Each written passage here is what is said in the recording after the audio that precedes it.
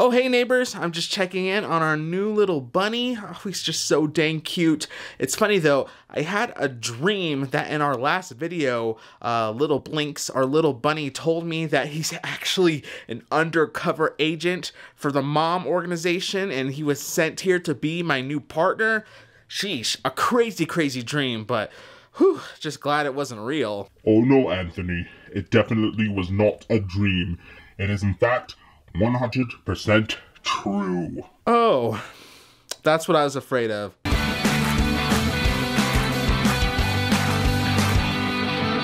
Greetings and salutations neighbors, Anthony here, and welcome to another Anthony Around Town video. This is the story of a single dad who makes videos about things that his kids just find really cool, and I just found out that my new pet bunny is actually an undercover spy agent named Agent B. Okay, okay, so we got to get to the bottom of this. So me and the girls, we call you Blinx, but uh, your code name is Agent B. It just doesn't make any sense, Blinx or Agent B or whoever you are. Like, how are you a talking bunny? Well, Anthony, it's actually quite simple. I may have the appearance of a common Holland lop bunny, but I am actually a creature known as the jackalope. Now, traditionally, a jackalope looks like a rabbit, but it has little antlers on top, and it runs around the desert. Yes, that's me. That's what I actually am. I am actually a monster creature. Okay, okay, interesting. But you don't have horns. You just look like a regular bunny. How are you? How are you a jackalope? And why do you just look like a bunny right now? Well, you see, Anthony, before I joined the mom organization, I was actually one bad dude. I used to run with a gang of art thieves. We would go all around the world and steal art from museum after museum. However, one day I was captured by the mom organization and doctor director, and they gave me a choice. I could either spend the rest of my life in monster prison, or I could serve my sentence by working for them undercover through the mom organization. Obviously, I chose the latter option. They were able to file off my horns so that way I would appear just as a normal bunny and I would go on undercover operations all around the world for them. Oh my gosh, actually, that sounds pretty wild. I'm sorry to hear that, Blinx or A Agent B. Um, neighbors, what do you think about Agent B's story so far? Comment down below and let me know, because to me it still doesn't make any sense. Like, the girls and I have been planning on getting a pet bunny for a while. So, like, the, the first off, the, the gal that we traveled to to pick you up, she was just a normal bunny breeder. Like, she didn't say anything about monsters or anything like that. So, how did I go from meeting her to get a pet bunny to actually picking up my new secret agent partner? Well, Anthony, it's actually quite simple. Once Dr. Director heard that you were looking for a new pet bunny, he was able to arrange the whole thing. I went undercover as a normal bunny with the bunny breeder, and I was able to fit in as a member of her litter. However, to ensure that you and the girls picked me up, the mom organization purchased all the other bunnies from the bunny breeder, so that way I would be the only one left. So when you called to tell her that you were interested in purchasing a bunny for a new family pet, I would be the only one left, which means you had no choice but to bring me home. What, so you and Dr. Director arranged the whole thing? I just, I don't understand. Um, neighbors, are you getting all of this? This whole thing was a setup from the beginning. You are going to be my new partner? Uh, okay, so if you're my new partner and you're supposed to be helping me out on my missions and stuff like that, what what am I supposed to know now? What are you supposed to tell me? What are we supposed to be doing? Let's just get into it. Whoa, no, slow down there, Anthony. Don't be getting all upset on me right now. Do you think I'm over the moon about the idea of coming here and being your partner? Actually, I 100% am not. Actually, before you, I had another partner that I worked with for years. And now I have to start all over here with you, so don't be giving me that attitude. Oh, wow. I'm, I'm sorry. I, uh, I guess I didn't think about the fact that obviously you would have had a partner before me. Um, sorry. I, I, I didn't mean to come off rude. Sorry. This whole thing's just kind of blowing my mind right now. I apologize. Uh, but, but what happened? to your old partner? How come you're not with him or her anymore? My old partner was a man named Mr. Champagne. Mr. Champagne? Hmm, that name sounds super familiar. Doesn't that, neighbors? Have you you've heard the name Mr. Champagne before? Uh, go back and watch my murder mystery video, the one where I snuck into a murder mystery dinner to try to find a four-digit code. I think there was a Mr. Champagne at that dinner. Let's see, I don't see anything, neighbors. Oh, hello. Uh, welcome. My name is uh, Winston Vanderduke. Uh, sir, you haven't seen a, a four-digit code around here, have you, somewhere? Ah, my name is Mr. Champagne. No, I've not. You have not. Okay. Well, No, well, well, okay. Well, let's get to the party. Thank you, my good sir. Yes, well, unfortunately, one day Mr. Champagne told Dr. Director that he could no longer be my partner. He, uh, I guess, just no longer saw the value in having a bunny partner, so he quit and uh, he found himself a new partner, a new mysterious partner that I don't even know about. So for all I know, he could be off gallivanting around the world with any type of creature, I don't know. But after all those years, all I know is that he tossed me aside like I was nothing but a bad carrot. Dang, I- I'm sorry to hear that, Agent B. Uh, but you know what? I-, I just want you to know, like, I know I was kind of a jerk before, but I'm gonna really work hard to be the best partner for you. I'm gonna be the best partner I can be. Uh, I'm gonna have your back, and so yeah, I think we. So knowing the mom organization, knowing Dr. Director, there's always some sort of mission we're supposed to be getting ready for and preparing for. So I haven't heard of anything. I haven't heard about a new mission um, on my end. But do you know what our next mission might be by chance? Yes, Anthony, I know exactly what the next mission is.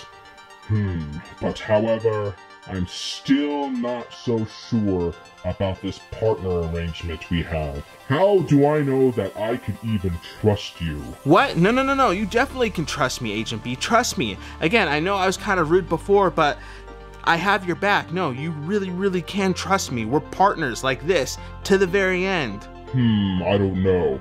Dr. Director does speak very highly of you. However, you do sort of remind me of my old partner, Mr. Champagne. After years, I thought I could trust him.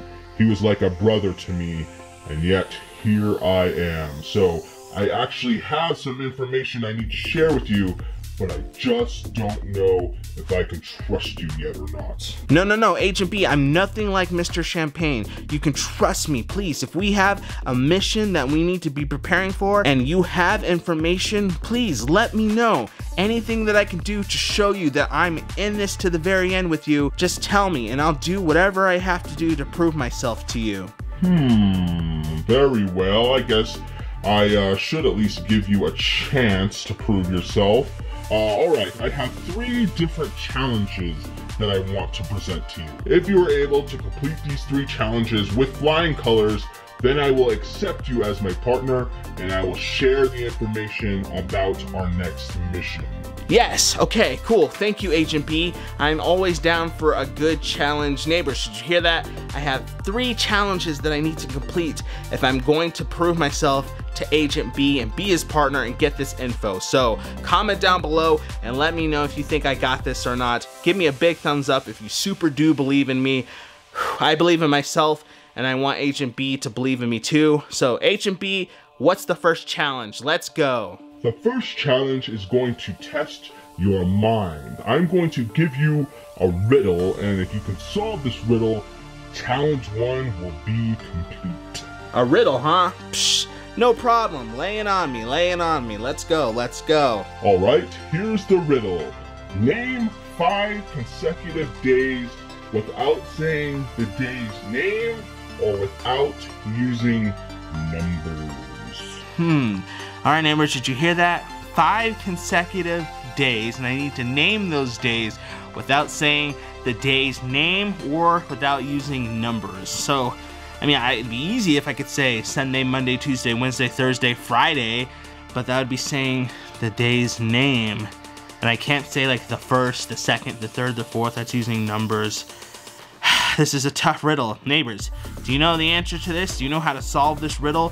Comment down below and let me know. Hurry up, Anthony. Again, this is a mind test, and the clock is ticking. Okay, okay, yeah, okay, okay, I got it, I got it. Just give me a second. I'm thinking, I'm thinking. Man, he's so impatient. It would be nice if I had until like tomorrow to figure this out because then I could.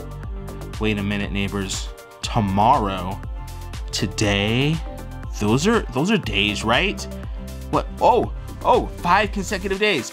Oh, oh, neighbors, I think I figured it out. Have you figured it out? Comment down below and let me know. I think I got it. Let me go tell Agent B. All right, Agent B, I think I've solved your riddle. All right, are you ready? So, five consecutive days without using their name or using any numbers. We have the day before yesterday, yesterday, today, tomorrow, and the day after tomorrow. Is that right? Hmm, very good, Anthony. Very good. That is actually correct. Yes, we did it, neighbors. Challenge number one complete.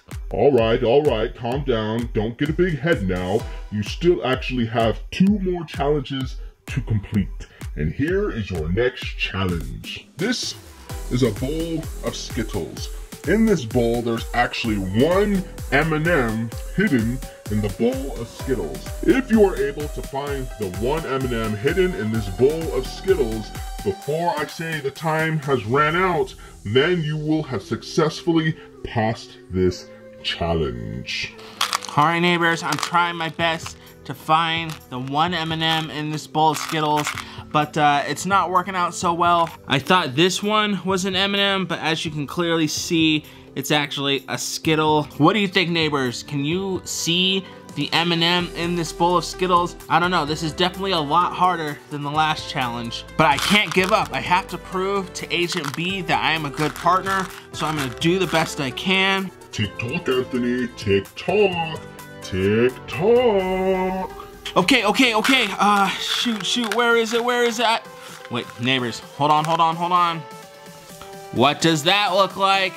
What does that look like? That is definitely not an S, that's an M. Gotta do the old taste test just to be sure. Yes, that's chocolate. That's chocolate, which means I found the M&M in a bowl of Skittles. Yes. Impressive, Anthony. Most impressive. I have to say, maybe the rumors about you being a talented monster agent are true. well, I don't know about that, but all I know is that, you know, I always just try to do my best and I never give up. And speaking of that, Agent B, you said there were three challenges I had to complete today. I've already done two of them, so I'm kind of afraid to ask this, but what's the last challenge you have for me? This last challenge involves the stick of chewing gum next to me. You need to take this stick of chewing gum and blow the biggest bubble possible.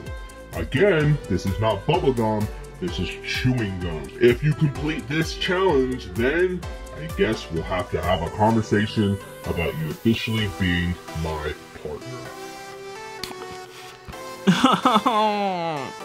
that was not very good. Ah, that one was better, but not super big. Let me try it one more time.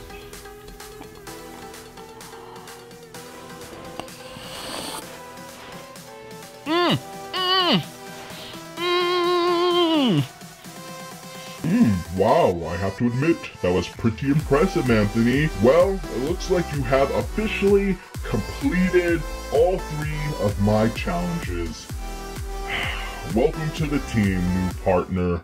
Wow, thank you so much, Blinx or A Agent B, whatever. I just, I just want you to know seriously. I know that you were treated pretty badly by your last partner, Mr. Champagne, but again, I have your back. I want to be the best spy agent I possibly can. And I think uh, that working with you could be the start of a good friendship. So, uh, but I've completed all three of the challenges, and that means you said not only do I get to be your new partner, but you would share some information with me about the next mission. So, what's the information? Well, Anthony, it actually has to do with the fact that your YouTube channel has been hacked twice over the last couple of weeks. Yes, a hacker broke in to your family's old home movies and left a couple secret codes. These secret codes were Bigfoot and Arizona. And after studying these codes, the mom organization has been able to crack them. And what the codes mean is that you need to travel to the state of Arizona and find Bigfoot. That is your next assignment. We need to capture Bigfoot on film. We believe that he is the key to a big monster takeover event coming in the future. So Anthony, you need to pack your bags, get on an airplane, and head to Arizona to find Bigfoot. Um, okay. Guess, uh, guess I'm going hunting for Bigfoot.